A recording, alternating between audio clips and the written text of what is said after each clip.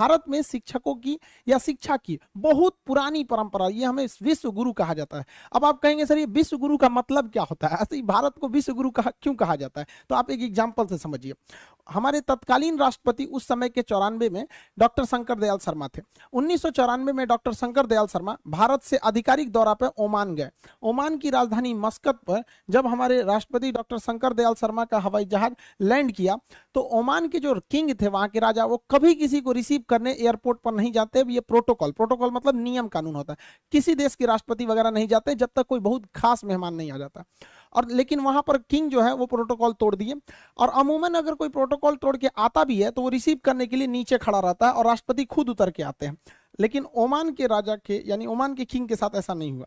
हमारे डॉक्टर शंकर दयाल शर्मा अभी हवाई जहाज़ में बैठे ही थे तो ओमान के किंग सीढ़ियों से चढ़कर खुद गए और डॉक्टर शंकर दयाल शर्मा को उनके सीट के पास से जाकर रिसीव करके उन्हें लेकर आए थे। जब ड्राइवर्स और बॉडीगार्ड ने उनको कहा गाड़ी में बैठे तो वहाँ के किंग ने ड्राइवर को हटाकर खुद ड्राइव किए थे डॉक्टर शंकर दयाल शर्मा के गाड़ी को, हमारे राष्ट्रपति साहब के।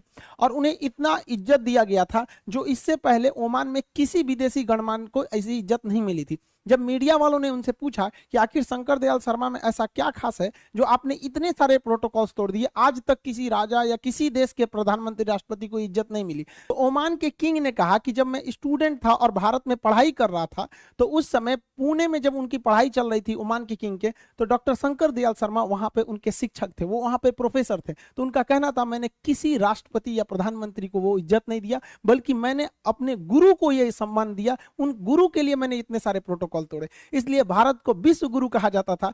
प्राचीन काल से आज तक बहुत सारे लोग भारत में आते हैं, शिक्षा लेकर बड़े बड़े पोस्ट पर पहुँचे हैं। उसके बाद से अभी तक कई सारे राष्ट्रपति, प्रधानमंत्री अलग अलग देशों के ओमान में गए, लेकिन उन्हें जो प्रोटोकॉल के तहत ही एक सम्मान मिला, वो सम्मान आज तक किसी को ओमान के किंग द्वारा नहीं मिला, जो हमारे शंकर दयाल शर्मा जी को मिला था। हमारे